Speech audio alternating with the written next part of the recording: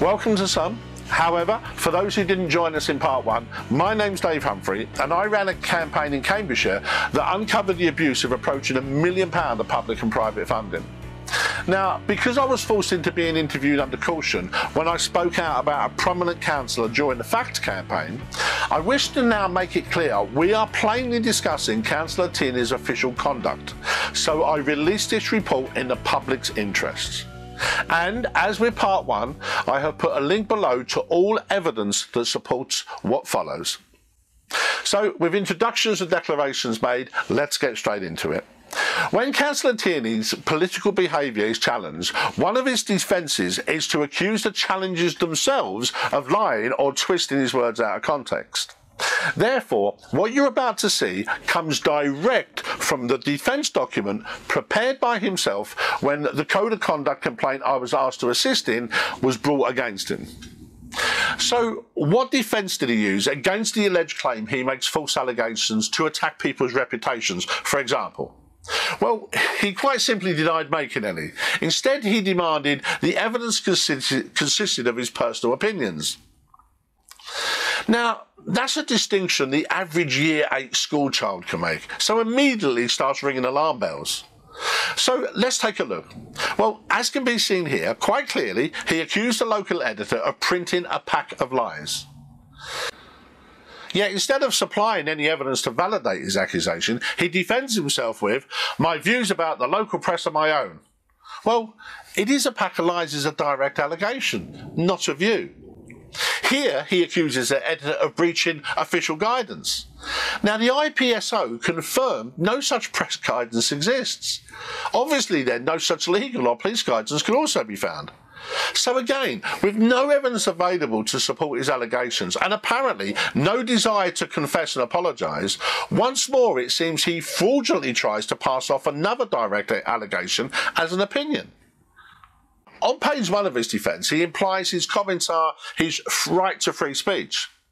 As discussed in part one, is this following attack not another projection of his own political behaviour onto what he regards as the usual suspects when he demands Sharon appears to think that free speech means the right to cast aspersions on other people's businesses and reputation without any evidence to back it up? Is that not an exact description of what you've just witnessed?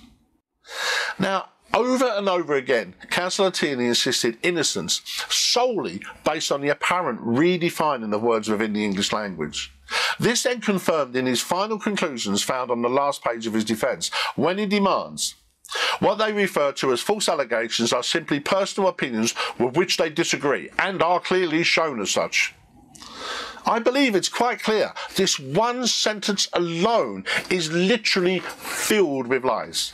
They were not opinions. They were not clearly shown as such, and as will now be, and as we will now see, they were not disagreed with, but some evidence to be false. You see, here, Councillor Tierney accuses editor John Elworthy of ever more blatant bias in favour of the united opposition. However, I personally investigated the paper's archives to produce the evidence of how only two of the preceding 26 Voice to Defend features, 7.5%, mention what Councillor Tierney refers to as united opposition. Strange then how Conservative Councillor Tierney fails to comment as to the six posts posts, 23%, which included and gave praise to Conservative MP Steve Barclay. However, praise to Mr. Barclay wasn't the only thing it seemed Councillor Tierney wished to ignore. You see, apparently unable to explain the physical evidence supplied, it looks as though this time he decided the best defence would be to simply ignore the evidence altogether and claim I would point out that a personal opinion is not false just because Alan Lay and Paul Clapp say it is. Yet again, the word the proves it wasn't written as an opinion. And secondly, clearly it wasn't false just because Alan Lay and Paul Clapp say it is. It was false because the evidence supplied in the complaint proved it was false. Surely, simply refusing to acknowledge physical evidence even exists. It's a type of irrational dishonesty you would expect from a small child, not an elected official. I thought you maybe had a cupcake. No. No? And yet, it would seem this was not a one off. What of the alleged claim he makes offensive comments or insults people, for example? You're now watching float past some of his comments found in the evidence. Comments, it would appear, he had to ignore to then claim the worst insult I would find in the evidence was silly and shenanigans. Surely, just complete and utter nonsense. Well, how about this then, where he demands I often make reference to using terms like usual suspects and local haters, and you will notice that nobody is named when I reference these groups. Here's the opening statement from his blog post, Letters from Mars, entered as evidence, clearly referencing the usual suspects, then immediately names David Patrick. Or what about this blog post, also entered as evidence, where Bob Doherty is clearly accused of being part of a group of haters? Or here, where David Prestige is seemingly identified as a usual suspect and a generic hater. And on and on and on it goes. For example, on page 13, he defends one of his allegations by categorizing it as a criticism of behavior, which he then implies is necessary to a democracy. So, what then if the shoe's placed on the other foot? Well, here people criticised the previous behaviour of his close friend for allegedly parking a van illegally in a dangerous position. Was this all respectfully regarded as all part of the way that opposition interact? It appears not. No, they apparently get called scumbags. And what happens when somebody criticises that behaviour? It seems they get accused of being a liar and a generic hater. And what happens when people use their legal right to protest against this kind of behaviour in, in, a council meeting? They also get called a group of haters, belonging to a hate fest, and again, again accused of lying. Or if a member of the public publishes a petition against this type of, uh, type of behaviour, it appears she gets accused of being part of a mean and vindictive group, guilty of regular out, outright lies, and being a third-rate playground bully. But what then happens if we begin to look a little closer at his justifications for such attacks? Well, let's examine just one of his so-called validations for the scumbag post, for example, where Councillor Tierney claims the picture was a lie in the first place. So what does he mean by this?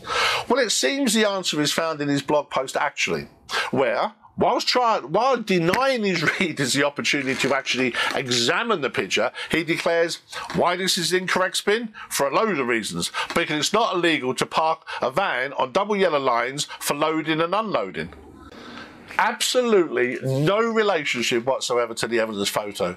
I suspect perhaps why he refused to let his readers see it. So let's take another look. The van is illegally parked, it's in a dangerous position, forcing pedestrians into the road, and no loading or unloading taking place whatsoever. In fact, the pub has its own car park. So what about this picture? Or this one? Or even this one? Many believe for a councillor to use such language is unacceptable under any circumstances. However, has Councillor Tierney called members of the public scumbags, founded on nothing but false allegations, founded on outright lies? And how did he excuse himself this time? Well, he claimed he won't waste his time with it as he didn't name anybody. Now, in a defamation, defamation case, sorry, a high court only requires the person or persons to be identifiable by what was written. Apparently, something also confirmed by legal precedents recently used by the District Council themselves in another conduct complaint. And what then of his defence for calling members of the public liars when using their legal right to protest? He claims how he couldn't see any evidence where he had accused the public of lying. He therefore gives himself permission to simply ignore this claim. What you're looking at is the blog post that was the foundation of this specific issue. So, no spin, no twisting of words, no taking out of context. First, the evidence seems to prove how Councillor Tierney has in fact made false allegations when attacking people on his political blog. Second, Unless Councillor Tierney is to claim his level of English is below that of a 13 year old, and also give rational, rational explanations as to why he frequently makes statements in direct conflict with the physical evidence then surely this also proves beyond all reasonable doubt he knowingly and repeatedly lied in his official capacity to pervert the outcome of an investigation against himself. A wrongdoing that it would seem is so serious in nature the Deputy Prime Minister was sacked for the same offence. Quite simply, I believe the evidence seems to clearly expose how all of Councillor Tierney's principal conclusions found on the final page of his official defence document were based on complete and utter fiction. All of them. So, taking all that into consideration, can we not again look at another of his attacks on the opposition for the possible truth when he demands it's an absolute pack of lies by the master of lies, and anybody stupid enough to believe a word of it needs their head tested. Couldn't agree more, Councillor Tierney. Couldn't agree more. And a point I believe consolidated in his final statement when he declared, given even the lack of a shred of evidence, I'm sorry, I can't even keep a straight face. Uh, I'll go back, I'll go back to the beginning. Given a complete lack of even a shred of evidence which backs up the claims made, I believe this response document proves without doubt that the complaint is groundless. That's just incredible. The only thing that I believe it proves was his guilt. Seriously, who was Councillor Tierney expecting to fall with this stuff? Does he really think the public is that stupid? Now, some have claimed he was confident he'd get let off, to which I argue, then why write 41 pages? However, for now, arguably one of the most disturbing aspects of this case is our council officers, unbelievably, and I feel reasonable to say literally unbelievably, dismissed this entire complaint on the grounds there existed no evidence that the code of conduct had been broken. And this and other decisions I consider to be the fundamental reason as to why you are unaware of this councillor's seemingly immoral and dishonest official acts. Now, depending on what side of the fence he's standing on, it would seem even Councillor Tierney disagrees with the council's decision. Here he is speaking of another opposition councillor.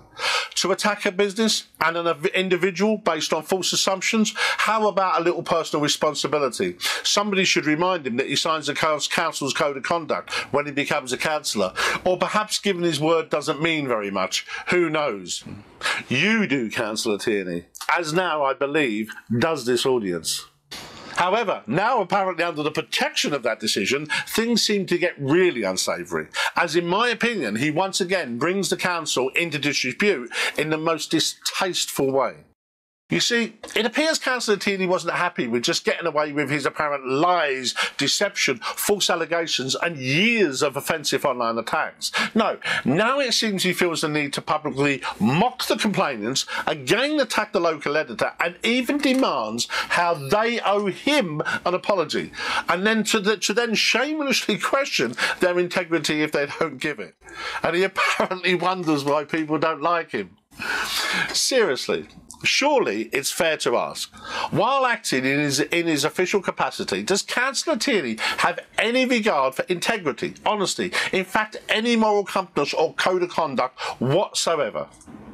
And what then of all this as to the official positions he holds?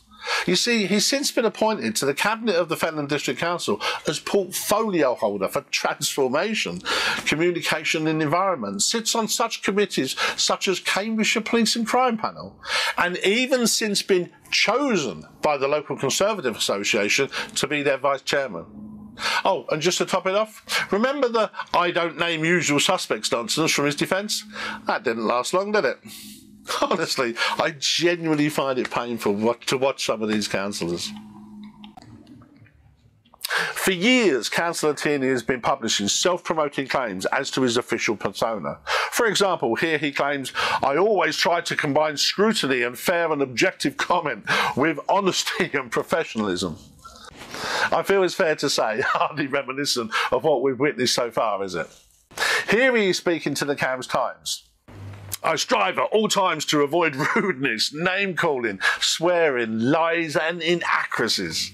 So, based on what you've so far witnessed, let's quote from his blog post actually and ask what gives the truer representation of what we've just seen. His attacks on the opposition and generic haters of all sorts, or his self promoting descriptions of himself. The trouble, as ever, is that if I do not respond to the spin, falsehoods, deceptions, and outright lies, then they go unchallenged and people believe them. I can't fix all of this. I can only do my bit to tell the actual truth as best I know it. Seriously. In my personal opinion, it would seem a truer representation would be found by simply believing the exact opposite of what he wants us to believe, or by holding the mirror up to his attacks on others. However, with all of that being said, the one thing I personally believe cannot now be argued is when speaking in his official capacity, whether attacking people, talking of himself, reporting council business, or defending his official actions, nothing Councillor Tierney says can ever blindly be believed again.